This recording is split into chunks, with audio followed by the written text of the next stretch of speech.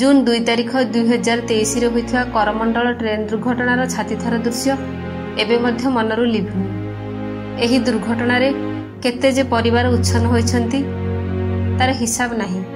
କିଏ ହରାଇଛି ସ୍ୱାମୀ କିଏ ହରାଇଛି ତାର ରୋଜଗାରିଆ ପୁଅ ଆଉ କେଉଁଠି ବାପ ମା ଛେଉଣ୍ଡ ହୋଇଛନ୍ତି ପୁଅ ଝିଅ।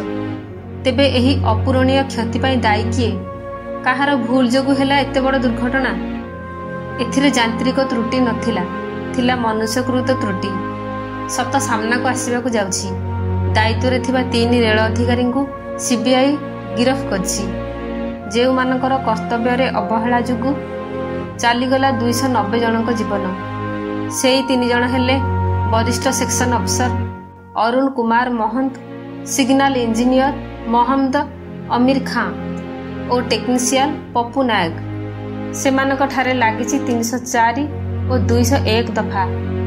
ଯେଉଁ ଦଫା ବଳରେ ସେମାନଙ୍କୁ ଆଜୀବନ ଜେଲ୍ ଦଣ୍ଡ ହୋଇପାରେ ଦଫା ତିନିଶହ ଚାରି ଅନୁସାରେ ସେହି ଅଧିକାରୀମାନଙ୍କର ମାରିବା ଉଦ୍ଦେଶ୍ୟ ନଥିଲେ ମଧ୍ୟ ତାଙ୍କର ଭୁଲ ପାଇଁ ଦୁଇଶହ ନବେ ଜଣଙ୍କର ମୃତ୍ୟୁ ହେଲା।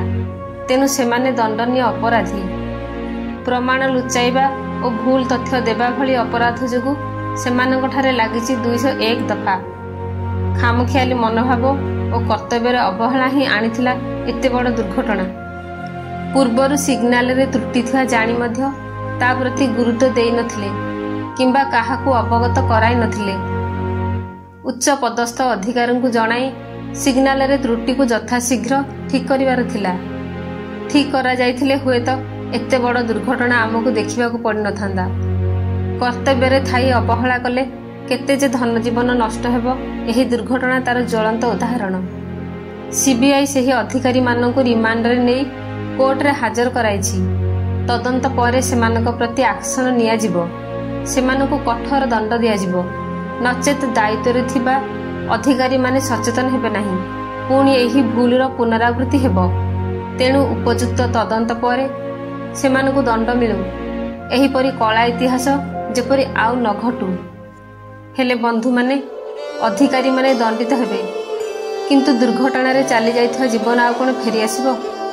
ଦୁର୍ଘଟଣାଗ୍ରସ୍ତ ପରିବାରର ଯେଉଁ ଅପୂରଣୀୟ କ୍ଷତି ହୋଇଛି ତାକୁ କିଏ ପୂରଣ କରିବ? କୋଳଶୂନ୍ୟ ମାଆକୁ କିଏ ପୁଅ ଆଣିଦେବ ବିଧବା ସ୍ତ୍ରୀ ତା ସ୍ୱାମୀଙ୍କୁ କେଉଁଠୁ ପାଇବ? ଆଉ ବାପ ମା ଛେଉଣ୍ଡ ପିଲାମାନଙ୍କୁ କିଏ ସାହା ଭରସା ହେବ?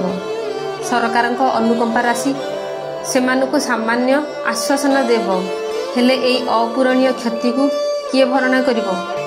ପ୍ରଭୁ ଜଗନ୍ନାଥଙ୍କଠାରେ ଏତିକି ପ୍ରାର୍ଥନା ସେହି ପରିବାରକୁ ଶକ୍ତି ଆଉ ଧୈର୍ଯ୍ୟ ଦିଅନ୍ତୁ। ସେମାନେ ସମାଜରେ ଅଣ୍ଟା ସଳଖି ଠିଆ ହୁଅନ୍ତୁ। ଆଉ ମୃତ ଆତ୍ମାକୁ ଶାନ୍ତି ମିଳୁ। ଜୟ ଜଗନ୍ନାଥ। ବନ୍ଧୁମାନେ ଯଦି ଭିଡ଼ିଓଟି ଆପଣମାନଙ୍କୁ ଭଲ ଲାଗିଛି ତେବେ କମେଣ୍ଟରେ ଜୟ ଜଗନ୍ନାଥ ନିଶ୍ଚୟ ଲେଖନ୍ତୁ। ଚ୍ୟାନେଲକୁ ଲାଇକ୍ ଆଉ ସବସ୍କ୍ରାଇବ୍ କରନ୍ତୁ। ଧନ୍ୟବାଦ।